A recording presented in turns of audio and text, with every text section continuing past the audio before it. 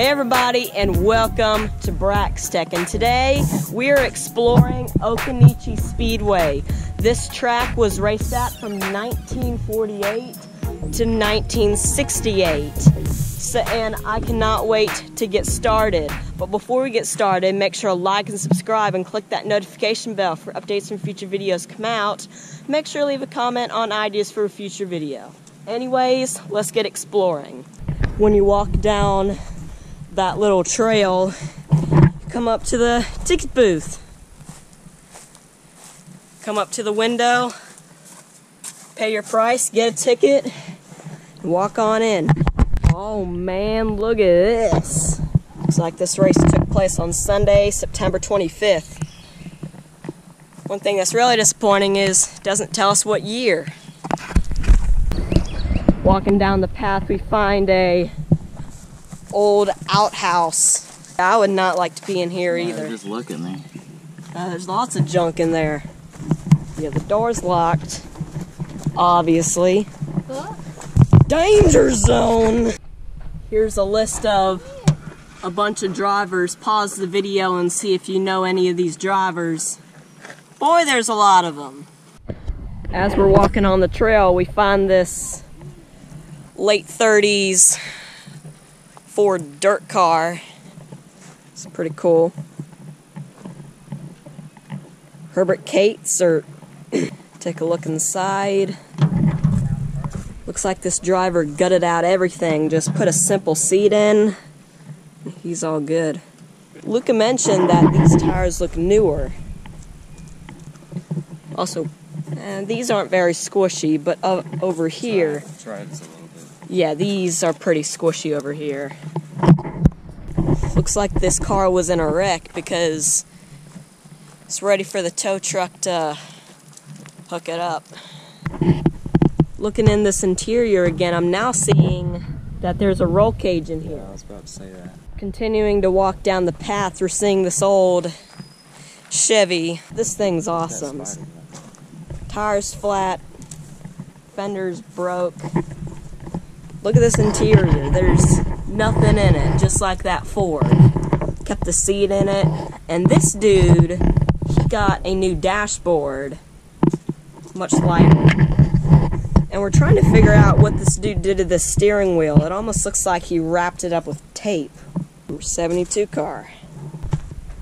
This mod's pretty interesting. A bunch of holes in the hood, probably for better airflow to the engine.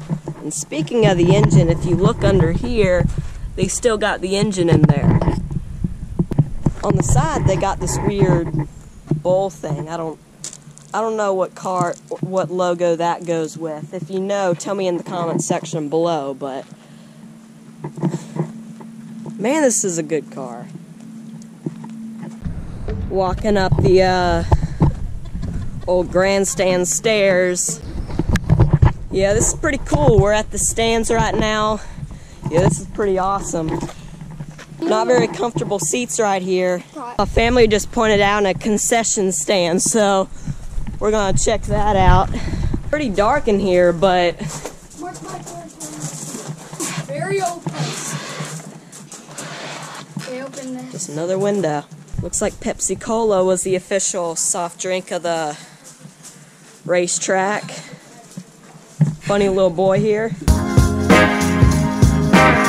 This is crazy. Can I have some Gatorade, please? Uh, sorry, sir. We're out of stock. Um, make sure to come back. You're drinking one.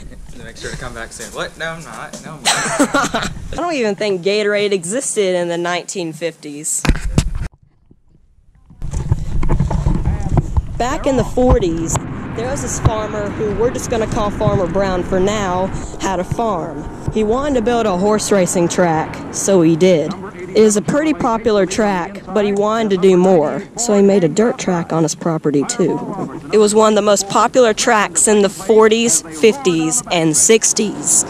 Unlike most tracks today, on the corners there is no elevation change and there's no tilting of the track. So the track is completely flat.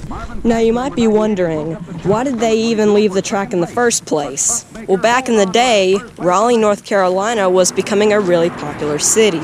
Good colleges, good jobs, and it was just a good place to live, so everybody moved there. Ticket sales started to drop, which meant the track did not make as much money as it once did. So they had to close the track down. But there wasn't any special ceremony or anything. They just left it for nature to take it over. And nature really took over the track until 2003 when the city that the track was in started to restore the track. They turned it into a park where you could walk around the track. And that is how we are here today. So right there's turn four, and if you overcooked it on the corner, you would have landed in this big river. The chances of uh, you getting out of this river safely is uh, not very high. So right now we're in the infield of the track. Back in the 40s and 50s, this was a um, this was a horse racing track. We've uh, walked the entire nine tenths of a mile. So now, gotta say goodbye to Occoneechee Speedway. This place is mostly just a dirt path with trees around it. There's not much here. Oh, and if you haven't already, subscribe to Homestead Homeboy. We are now back from Occoneechee Speedway. That was super fun. I hope y'all enjoyed today's video. And if you did, make sure to like and subscribe and click that notification bell for updates when future videos come out. Make sure to leave a comment on ideas for a future video. Anyways, this is Braxton from Brax Tech signing off. Where the big chief sleeps beneath the trees, there's a shadow where a racetrack used to be. Where the roar of the crowd is a memory down at Occoneechee. Sunday near the sleepy town, the fast cars going round and round. Where the big chief sleeps beneath the ground.